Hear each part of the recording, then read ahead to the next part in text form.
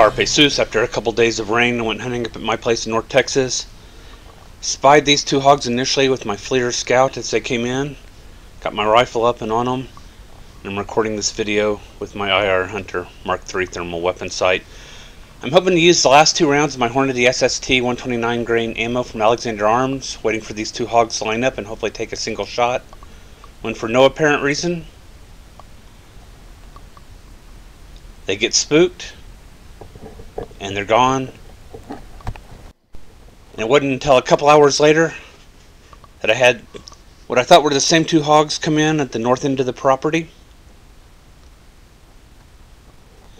Now I've sped up this video to three times normal speed. Here I'm nuking the image to help improve the image a little bit. The hogs are out there at about 140, 150 yards. I could take the shot, but again I'm trying to get the two for shot hoping that they're going to come into the feeder, which they appear to be doing.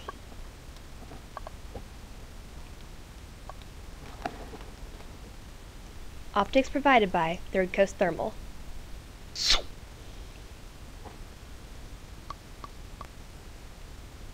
And I'm just waiting for the hogs to line up. Almost had it there, but these hogs are a little bit skittish. So I'm just going to bide my time.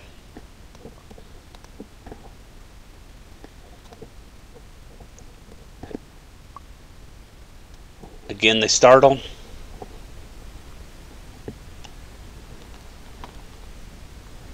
Now they're going to line up.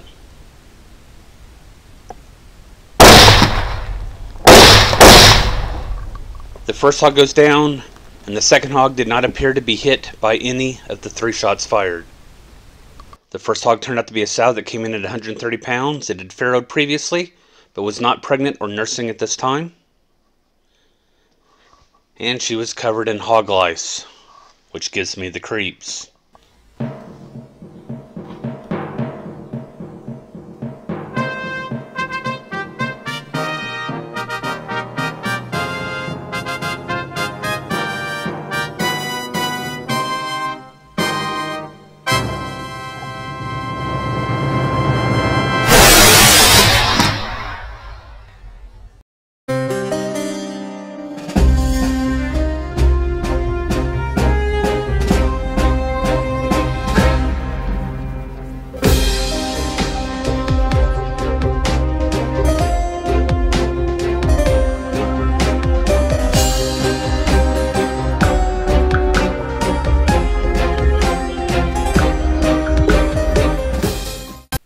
Carpe Sus, my friends.